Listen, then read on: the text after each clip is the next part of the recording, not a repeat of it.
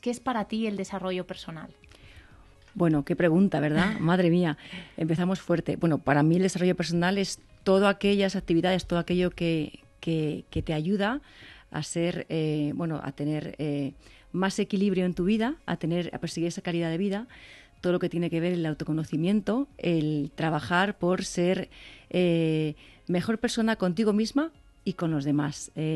para mí es importante, además se puede aplicar en muchísimas áreas de la vida, desde la productividad, de ser mucho más productiva, pero en términos de organizarte mejor para tener tiempo para encontrarte, para sentarte, para escucharte, para tener mayor bienestar, ¿no? Pero también para emprender, ¿no? Creo que es importantísimo. Cuanto más te conozcas y dediques más tiempo a este autoconocimiento, más vas a saber qué cosas tienes que desarrollar y qué cosas quizás estás en déficit, ¿no?